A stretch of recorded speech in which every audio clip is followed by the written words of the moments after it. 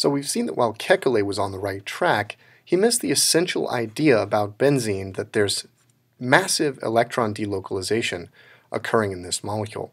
This makes the molecule a wonderful candidate for treatment using resonance structures and molecular orbital theory, and this was one of the great early successes of molecular orbital theory that it could be used to predict the electronic structure of benzene in great detail and with great accuracy. In talking about the currently accepted and currently understood structure of benzene, I think it helps a lot to break the molecule down into its sigma system and its pi system. Looking just at the sigma system, we recognize the molecule as a whole is planar and every carbon having sp2 hybridization, so the sigma system is actually relatively straightforward. All six carbons that I've highlighted in blue have sp2 hybridization, and they're all trigonal planar, and this makes the molecule planar as a whole. Where things get interesting is in the structure of the pi system. There are two possible arrangements of the pi bonds in benzene, and neither is really adequate to describe the true nature of the pi system. These are resonance structures, and we can show their interconversion through cyclic electron flow like this. The true structure of the benzene molecule is best captured by its resonance hybrid, and from the resonance hybrid we can conclude that the bond order of the CC linkages is 1.5, that all six carbons are equivalent, and that all carbon-carbon bonds are equivalent to each other. This resonance picture, and especially the resonance hybrid, helps us see why benzene doesn't really behave like an alkene. It's not accurate, really, to think about the pi electrons in benzene sitting in three isolated double bonds. Instead, it's better to think about those pi electrons as delocalized over all six carbons within the molecule.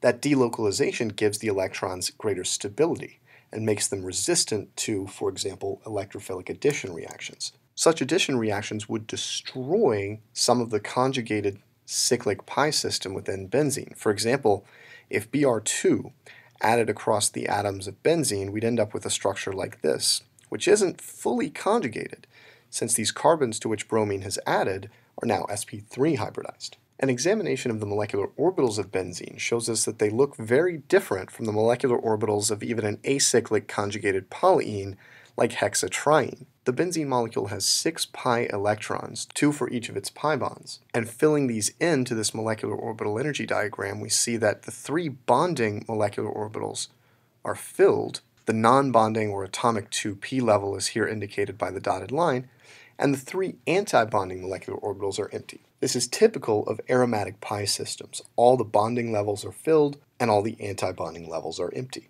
The pi molecular orbitals are still composed of p orbitals, but now because they overlap in a cyclic manner, we get a different pattern. It's not simply levels going up. We have what's called degeneracy, with multiple levels or multiple orbitals having the same energy. But if we focus on the number of nodes in each structure, we can start to recognize a familiar pattern in the shapes of these molecular orbitals. The lowest energy orbital has no nodes. All of the p orbitals are overlapping in a constructive fashion. The next two levels, higher in energy, have two nodes, two locations where the wave function changes sign, and we have destructive interference. Since both of these orbitals have two nodes, we find them at the same energy. In the antibonding level, we find four nodes within these orbitals. And there are two ways, as it turns out, to place these nodes within the orbitals, which is why we end up with two degenerate levels. Finally, the highest energy orbital of benzene contains six nodes, as each pair of adjacent p orbitals has opposite phasing and displays destructive orbital overlap. And so, in the pi molecular orbitals of benzene, we recognize this familiar pattern that as we go from lower orbital energy to higher orbital energy, the number of nodes is increasing. The cyclic nature of the pi system results in degeneracy of certain levels, that is, orbital energy levels at equal energies. We see that for the two groups of levels in the middle with two nodes on the bonding side and four nodes on the antibonding side. One reason for the greater stability of benzene relative to something like hexatriene is that these degenerate two-node levels are collectively lower in energy than the filled levels that correspond in something like hexatriene, where these would be stacked on top of one another. One would be higher in energy than the other. In benzene, because there are two ways to put two nodes within a molecular orbital, both of these end up at the same energy and collectively add a lower energy than the corresponding orbitals in hexatriene.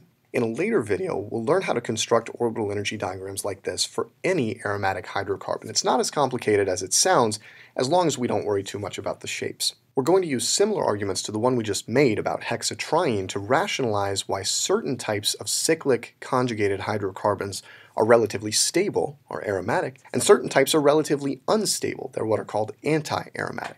So thinking about the molecular orbitals here does provide useful information, as it allows us to reason through to the stability of a cyclic conjugated system and get to a deeper definition of aromaticity, one that goes beyond just alternating single and double bonds.